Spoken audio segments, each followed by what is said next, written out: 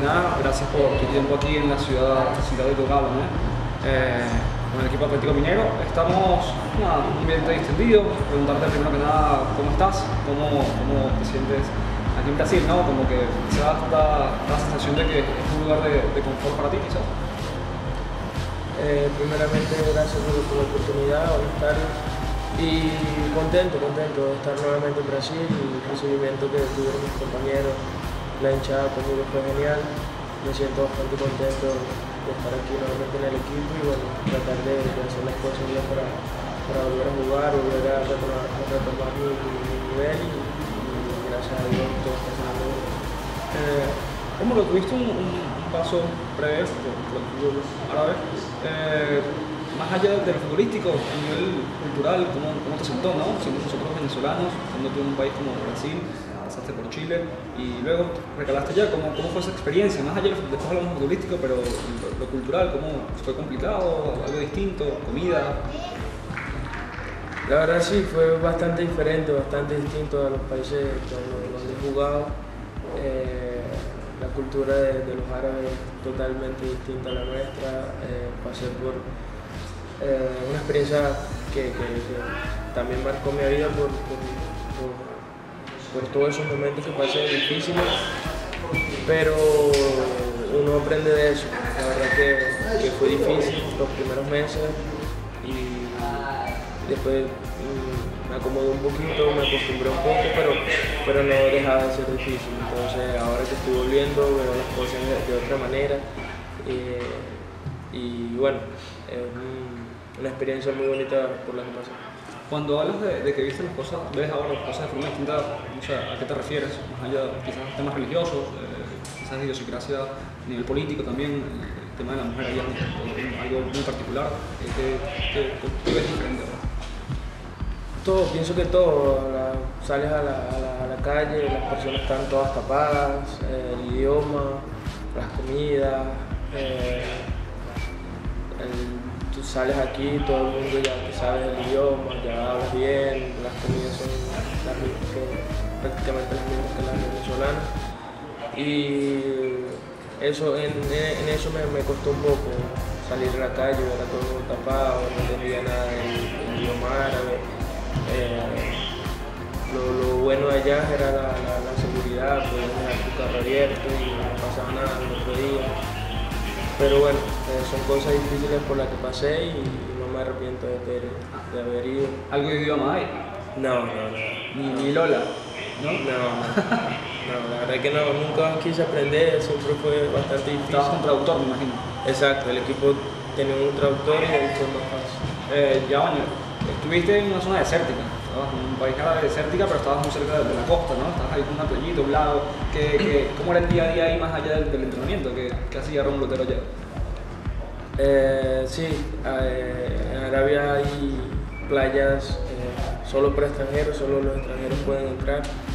Y cuando tenía los días libres era siempre que me iba a la playa con, con mis compañeros brasileños y y eso fue una forma también que, me fue bien por allá, por, porque me junté con los brasileños, me ayudaron bastante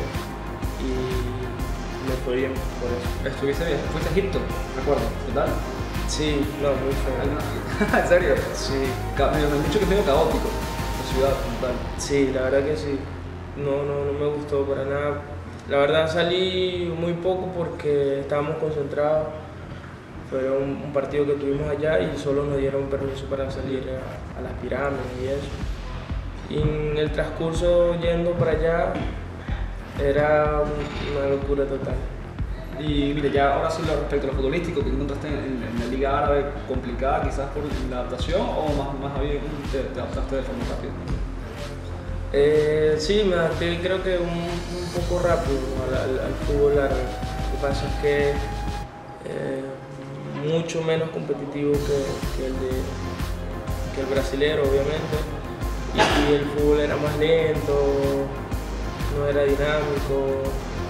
Y fui cayendo en, eso, no, se entrenaba bien, pero eh, tuve un entrenador brasilero allá y, preparador físico y nos ayudó bastante. pero los futbolísticos eh, son dos fútbol diferentes, muy diferentes.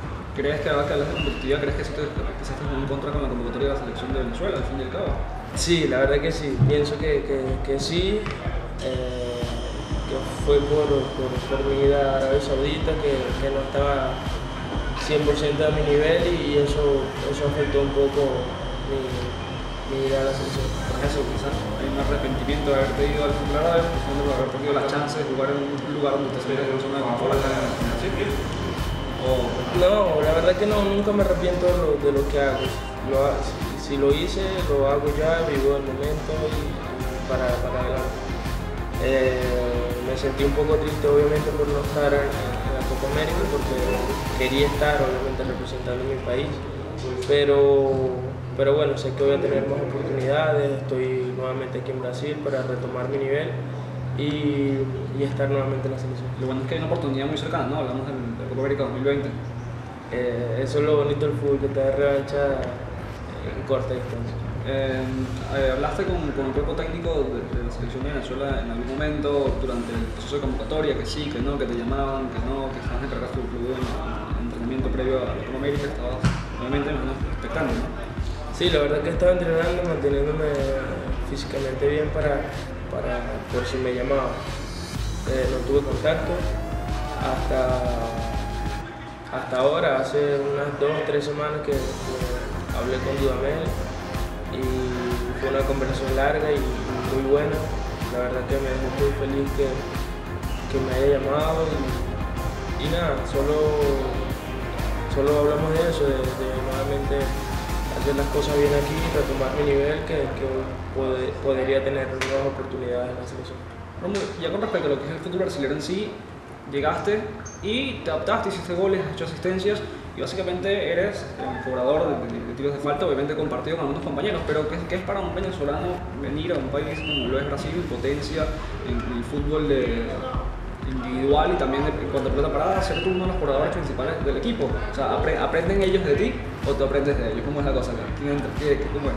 No, la verdad es que, me deja muy feliz a veces que, mis compañeros dicen vamos a patear que así me enseñan cosas así. Pero a la vez yo también aprendo de ellos, uno aprende de, los demás y, me gusta siempre entrenar para, para, ellos verme pateando, dicen que, aprenden de mí. La verdad que me siento muy, muy feliz por eso, por ser eh, uno de los jugadores de, de, de, pelota parada en el equipo y eso, eso la verdad En cuanto a tu juego, si bien puedes hacer varios roles dentro de la cancha, ¿cuál es la zona de confort para, para Rómulo Otero? Partir de más atrás, estar libre más adelante en zona de, de, gestación de juego. Sí, me gusta jugar de, de la, por la parte izquierda. Y, Perfil cambiado. Exacto, para cortar para adentro y poder patear. Y en el medio también que tengo más contacto de 10, ¿sabes? Tengo más contacto con el balón, eh, le doy juego al equipo y tengo más oportunidad de, de pegarle la... ¿Cuál es la meta de, de de aquí a mediano plazo? Eh, jugar en un equipo en Europa, es mi sueño desde de siempre, por eso volví para, para, como te dije, retomar mi nivel y poder salir a, Europa. Es un sueño que tengo de pequeño y sé que lo voy a cumplir. Y, y, bueno, estando en Europa ya es otro fútbol, otro nivel, prácticamente igual que en Brasil. Y tendré, sé que tendré oportunidades nuevamente en la selección y bueno, no me gustaría desaprovechar. ¿Tienes alguna liga preferencial? ¿Cuál que se adapte más al juego Romblotero? No, no tengo ninguna, solo me gusta, te puedo decir la española, la, la Inglaterra, la, la alemana pero cualquiera, cualquiera sería bienvenido, que sea europeo, para mí ese sueño ya... ¿Qué te costó de Brasil? Porque el idioma ya lo manejas, ¿al principio te costó? Al principio sí, pero, o sea, entendía, pero pronunciaba, no hablaba bien. Y el idioma ya perfectamente lo, lo tengo controlado y las comidas, todo, todo, se me parece a Venezuela, tiene todo tajada, puedes hacer las arepas, eh, Caraboto, todo eso lo, lo, lo, tienen aquí y me hace sentir como, como, en casa. Seguro que aquí estás mucho más cómodo que, en Talcahuano, ¿no? Allá con el equipo Guachipato, sí, sí, sí, frío ahí en la, en la costica chilena. sí, claro, a mí, a mí eh, no, no, me gusta el frío, no, no, me gusta para nada. Y allá pasé frío, mucho frío y, y la verdad que me siento muchísimo mejor aquí. Eh, ¿cómo, está, ¿Cómo es el equipo hoy por hoy? Y que llegas para ver si le puedes aportar eh, distintas cosas al, mundo, ¿no? En la Copa Libertadores. ¿Veías partido en Copa Libertadores el año pasado? Sí, sí, yo estaba acompañando al equipo desde allá, desde tan lejos. Eh, y tuvieron un buen comienzo el Brasileirao, eh, está comenzando ahora. Y vengo para, para ayudar a mis compañeros, para apoyarlos, para dar lo mejor de mí. Y sé que eh, trabajando en equipo, ayudando a mis compañeros, el, jugador individualmente también evoluciona. Y vengo para eso, a, trabajar con humildad, a poner eh, el entrenamiento de mi parte para, para, para ser un, gran jugador. Y eso, ayudar a mis compañeros para conseguir y ganar títulos. ¿Viste los partidos con América de Venezuela? Vi, vi todo. ¿Cómo, cómo la selección en general? excelente, lo, vi excelente, todos trabajando en equipo, todos corriendo, todos defendiendo. La verdad que, que Venezuela está para, para, para grandes cosas y eh, teníamos todo para pasar a la semifinal, pero, pero bueno, no se pudo. Ahora eh, trabajar para, para esa Copa América del 2020 hacer, hacerla mejor. Para el partido acá en el horizonte contra Bolivia estabas? No, no, estaba, estaba en Venezuela. ¿No te explica el bichito por, por, sí, por, sí, por sí. mí, coño, quiero estar ahí y irme a la cancha a pedir como unos minutitos? Sí, sí, todos mis compañeros aquí, los, mismos brasileños me escribían, tenías que estar aquí jugando, cosas así, ¿sabes? Y sí, tenía una ilusión grande de jugar, sintiéndome en casa, en el horizonte, en mineral, pero bueno, Bueno, nada más eh, mandar un saludo a la de Venezuela, que estamos muy y de hecho te pedían bastante para, para la selección, no sé yo, pero estoy seguro que para el 2020 las cosas van a salir bien en cuanto a rendimiento y, estar, ¿por qué no?, en Colombia y después quizás en un futuro proclamatorio. Amén, que así sea. La verdad que eh, aprovechar de agradecerle a las personas por, por todos sus mensajes en Instagram, por, porque no estaba en la selección, cosas así. De verdad agradecerle por el cariño, por, por apoyarme siempre al máximo y un abrazo gigante a toda Venezuela que, eh, está pasando por un momento difícil, ya todo el mundo lo sabe, y yo tengo fe que, que eso va a. Gracias a ti por el tiempo y nos quedamos en Europa. La próxima entrevista es en Europa. Exactamente, muchísimas gracias.